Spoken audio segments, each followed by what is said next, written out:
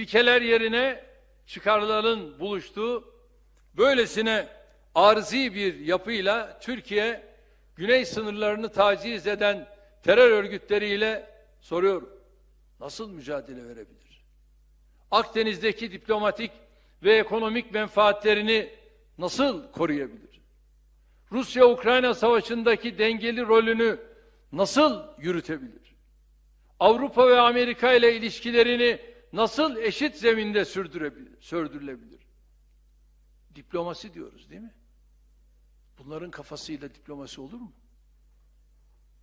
Olmaz. Ege'deki deniz ve hava sahaları ile ilgili haklarını nasıl savunabilir? Egemenlik haklarına yönelik saldırılarla nasıl başa çıkabilir? Ekonomik tetikçilerin tuzaklarını nasıl bozabilir? Üstüne yüklenen onca yükün altından bunlar nasıl kalkabilir? Geleceğine ilişkin umutlarını bunlar nasıl hayata geçirebilir? Özetle bu kifayetsiz muhterislerin elinde ülke nasıl yönetilebilir? Kendi içinde sayısız çelişki barındıran tek bir vizyon ışıltısı dahi taşımayan bu metni tartışmak abesle iştigaldir. TOG'a gelmek istediğini söylemiş yönetim kurulu başkanına. Ben de başkana dedim ki Sanayi ve Teknoloji Bakanımızı da yanına alacaksın. Verdiği cevap ne biliyor musun? O gelecekse ben gelmem. Barank senden bayağı çekiniyor ya. Biz en başından beri bu ittifaka kendileriyle eser ve hizmet siyasetinde, vizyonda, programda, projede yarışmak istediğimizi söyledik. Ama bunlar karşımıza sadece tek vaatleri Türkiye'yi eski kötü günlerine döndürmek olan şekilsiz, omurgasız, arkaik bir projeyle çıkıyor. Türkiye yeni yönetim sistemiyle özellikle söylüyorum. Bunların parlamenter demokrasi, güçlendirilmiş parlamenter demokrasi bu tür palavralarına aldanmayın. Buradan bir şey çıkmaz. Buradan bol bol masada toplanıp dağılmak çıkar. İranlıların güzel bir atasözü var. İşestendu, goftendu, berhastendu. Oturdular, konuştular, dağıldılar. Bunların durumu bu. Türkiye yeni yönetim sistemiyle birlikte işin ruhuna uygun şekilde siyasette iki ittifaklı bir görünüm kazanmıştır. Cumhur İttifakı ilkeleri ve tarafları gayet net bir ortak hedef birlikteliği olarak milletimizin huzurundadır. Buna karşılığı diğer ittifak ise altılı masa olarak kamuoyu önüne çıkmakla birlikte henüz önünde arkasında daha kimlerin olduğu, hangi amaçlarla kurulduğu bilinmeyen amorf bir yapıdır. Yaptıklarımız ve yapacaklarımızla doğru şekilde bilgilendirmediğimiz her bir kardeşimizin muhalefetin yalan ve iftiralarının hedefi haline geleceğini unutmayalım. Şimdi seçim yaklaşıyor. Bay Kemal göreceksiniz tamamen bir yalanlar dünyasıyla milletin karşısına çıkacak. Alışırız zaten yalanlarına da ama şimdiden buna hazırlan. Yine bu yalanları duyacaksınız, göreceksiniz. Vizyonumuzla hayallerini zenginleştirmediğimiz her bir insanımızın muhalefetin sürekli karamsarlık pompalayan hezeyanlarının girdabına kapılabileceğini aklımızdan çıkar. E birilerine başbakanlık vermeleri lazım. E başbakanlık verme noktasında da başkanlık sisteminde tabii bu yok.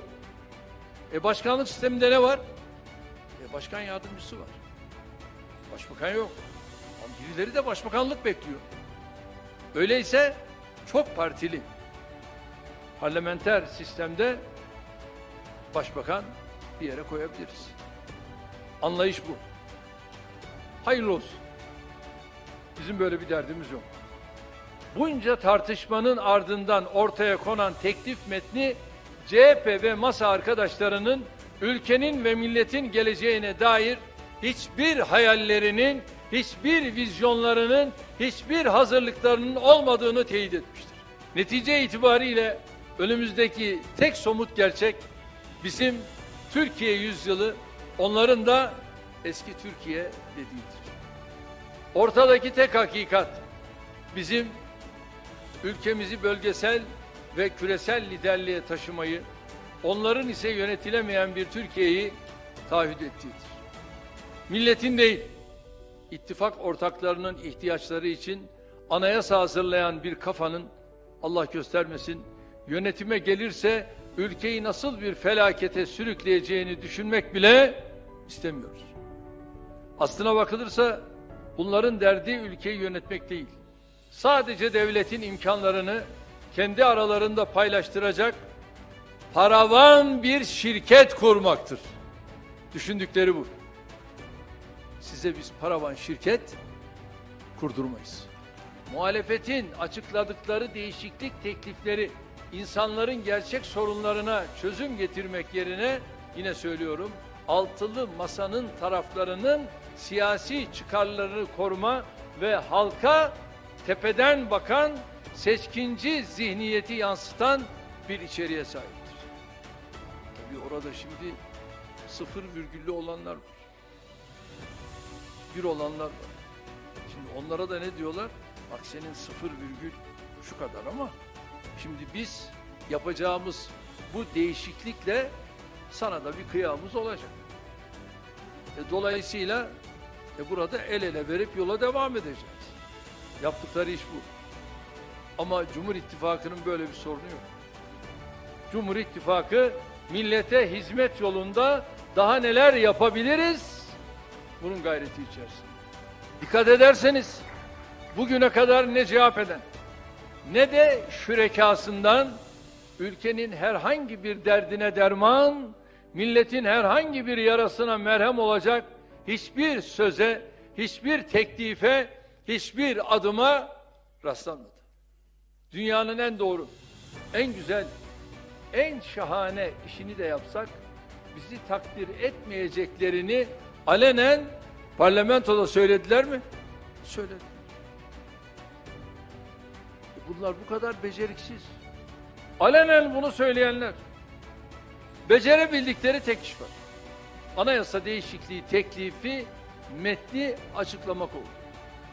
Eski Türkiye ipiyle indikleri kuyudan da çıkarta çıkarta terör örgütünün güdümündeki partiyi kollayan masanın etrafındakilere gülücük dağıtan ucube bir teklif çıkarttılar.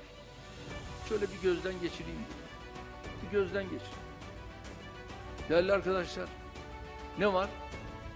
Masanın etrafındakiler artı masanın altındaki.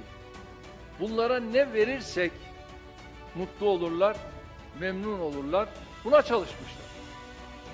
Baştan aşağı şöyle incelediğiniz zaman bunu görürsünüz. Birisinin derdi ne? Kapanan belediyeler. Bundan sonra belediyeler kapatılmayacakmış. Öbürünün derdi ne? E, hazine yardımları azmış. Dolayısıyla hazine yardımlarını en az bire çekip herkes buradan nasibini alacakmış. Herkese bir şey verelim. Bunu yapmak suretiyle oy toplayacaklarını zannediyorlar. Benim milletim bunu yutmaz. Çünkü benim milletim bu ülkeye, bu millete ve bu devlete ne gelecek buna bakar.